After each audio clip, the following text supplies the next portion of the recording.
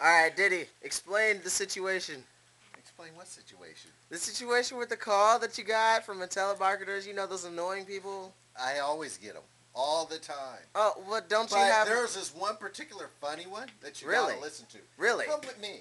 Oh, okay, okay. You got it on the message. You actually recorded it that way. Yes. Mailbox one, you have one more message. Listen, Listen. to this guy. Monday, six forty-two PM. So this is Flavis Willis from Liberty National. I just want you to know we'll be in Brandon this week, uh, giving away additional benefits at no cost.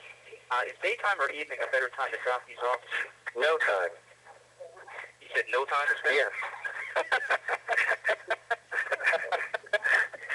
oh, that's funny. All right. Well, thank you for your time and you have a nice evening. You too. Thanks.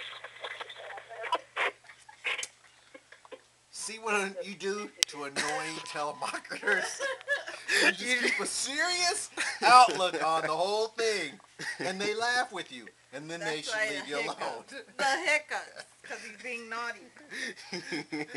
Thank you for your time, as seen on TV. oh yeah.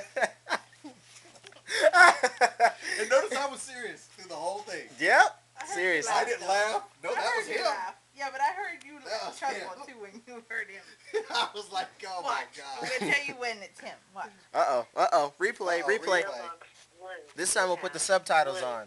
Subtitles. Click. Monday, six forty-two PM.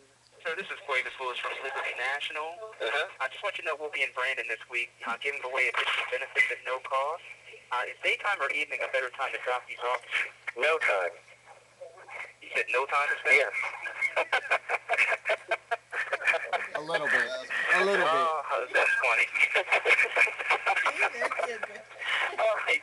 Well, thank you for your time you have a nice evening. You too. Thanks.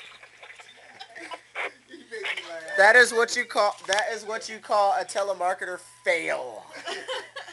Three.